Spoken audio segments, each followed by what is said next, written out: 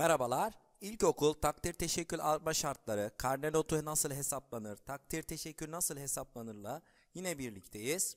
Ödüller ve ödüllerin verilmesi İlköğretim Kurumlar Yönetmeliğinin madde 53'ünde 53'te İlkokul 4. sınıf ile ortaokul ve Hatip ortaokullarının bütün sınıflarında puan ortalaması Türkçe dersinden 55, diğer derslerden 45 puandan aşağı olmamak şartı ile tüm derslerin ağırlıklı puan ortalaması 70 84.99 olanlar tek, teşekkür, 85 ve üstü yukarı olanlar ise takdir belgesiyle ödüllendirilir denilmektedir.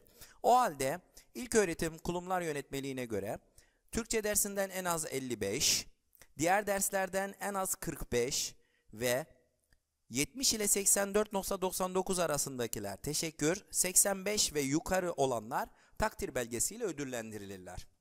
Hep öğrencilerin sorduğu soru dönem ortalamam 69,5 ile 69.99 arasında olduğunda yuvarlama ile teşekkür alabilir miyim diye sorarlar.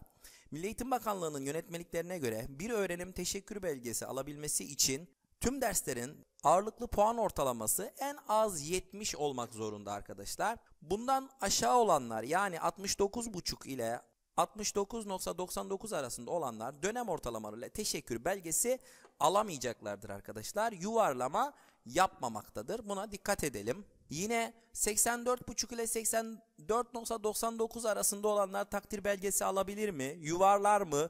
diye sorular her zaman geliyor. Yine bakanlığın yönetmeliğine göre arkadaşlar öğrencinin takdir belgesi alabilmesi için tüm derslerinin dönem ağırlıklı puan ortalaması en az 85,00 olmak zorundadır. Takdir hesaplamasında öğrencinin dönem ortalamasında yuvarlama yapılmayacak arkadaşlar ve 84,5 ile 84.99 arasında olan takdir belgesi alamayacaktır arkadaşlar. Buraya da dikkatinizi çekiyorum. Şimdi arkadaşlar puan ortalamanız nasıl oluyor? Mesela birinci yazılıdan 80 aldınız, ikinci yazılıdan 80 aldınız. Öğretmeniniz size katılım, ders içi katılımı 90-90-90 verse bile arkadaşlar bu bir puan olarak kabul ediliyor.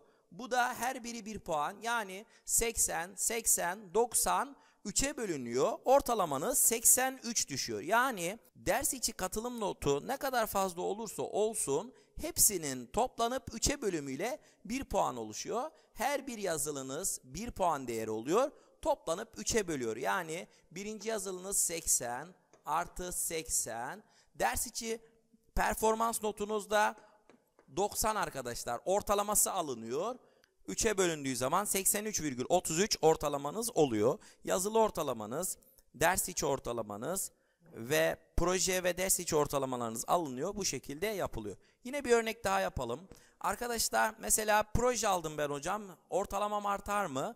Hayır arkadaşlar çok bir etkisi olmuyor. Nasıl? Birinci yazılınız 80, ikinci yazılınız 80 olsun. Arkadaşlar bunun ortalamasıyla bunun ortalaması alınıyor. Yani 90'dır bunun ortalaması. Bu da 90. İkisi de toplanıp ikiye bölünüyor.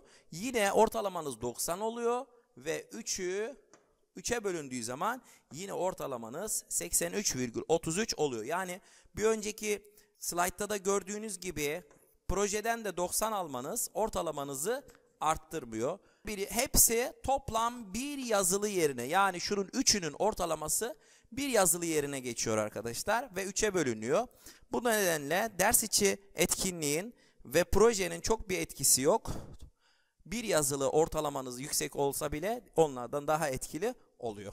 Bizler takdir teşekkür alıp almayacağımızı nereden bakabiliriz? Arkadaşlar e-okul VBS var. Orada not larınıza baktığınız zaman en artta birinci dönem ağırlıklı ders ortalaması diyor. Mesela şu öğrencinin ağırlıklı ders ortalaması 96,68. Bu öğrencimiz 85'in üzerinde olduğu için takdir alacaktır.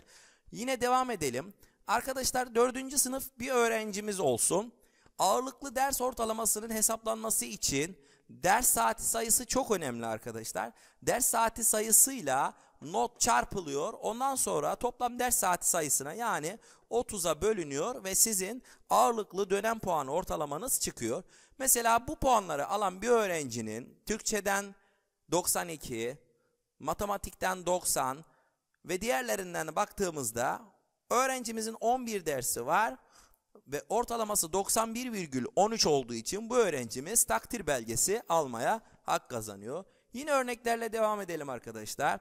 Yine öğrencimiz derslerden şu notları alsın ve baktığımızda öğrencimizin ortalaması 80,07. O halde bu öğrencimiz teşekkür alır.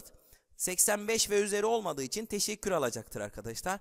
Bu öğrencimizin Türkçe dersi 55'in altında olsaydı veya herhangi bir notu 44 olsaydı arkadaşlar bu öğrenci yine tak, e, teşekkür alamazdı.